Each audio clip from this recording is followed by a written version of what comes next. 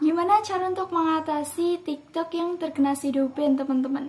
Nah, di sini aku akan membahas 9 cara untuk mengatasi TikTok yang terkena sidopin. Halo teman-teman. Oke, di sini aku mau ngasih tahu ke kalian semua gimana cara untuk mengatasi TikTok yang terkena sidopin, teman-teman. Nah, di sini aku akan membahas 9 cara untuk mengatasi TikTok yang terkena sidopin. Gimana caranya? Langsung aja aku mau masuk ke pembahasan selanjutnya. Tapi sebelum aku masuk ke pembahasan, jangan lupa like, comment, subscribe, and share postingan-postingan kita agar kita lebih semangat lagi untuk membuat konten yang bermanfaat ke depannya teman-teman.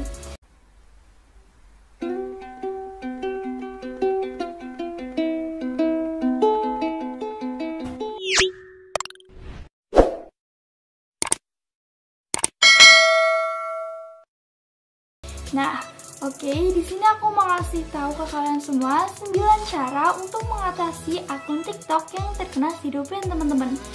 Nah, teman-teman, jika kalian sudah tahu atau sudah menemukan ciri-ciri akun TikTok kalian terkena sidopin, langkah pertama yang harus kalian lakukan adalah tidak mengupload konten selama 3 sampai 14 hari, teman-teman. Kenapa itu harus dilakukan? Karena kalian harus membatasi aktivitas di akun TikTok kalian agar kalian tidak dikira spam teman-teman. Nah untuk langkah selanjutnya, kamu harus menghapus konten TikTok kamu yang kamu kira itu melanggar peraturan atau terkena sidupin teman-teman.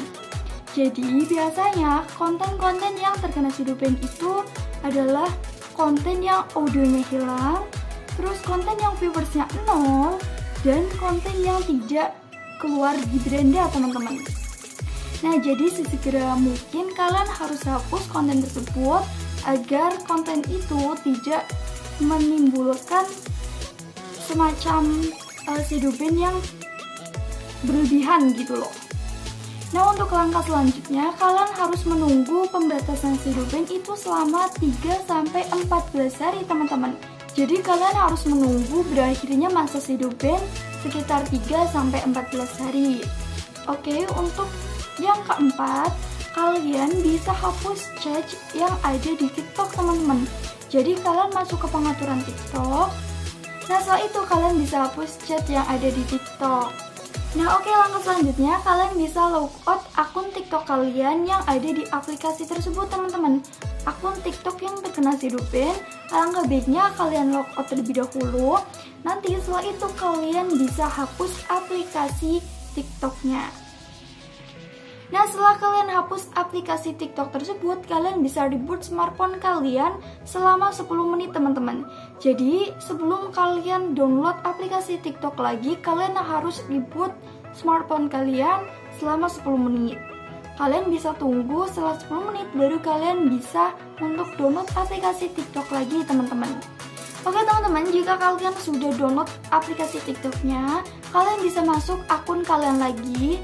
Tapi dengan catatan, setelah 14 hari, kalian harus mengupload sehari satu kali video teman-teman.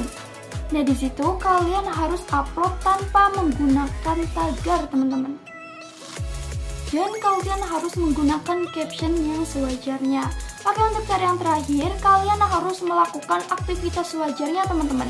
Contohnya kalian harus melakukan like, komen, dan share di postingan orang lain, serta kalian harus follow akun orang lain teman-teman. Sekian penjelasan dari aku, semoga bermanfaat dan semoga akun kalian cepat pulih ya teman-teman.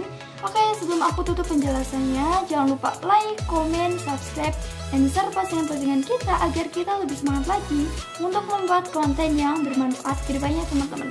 Dadah!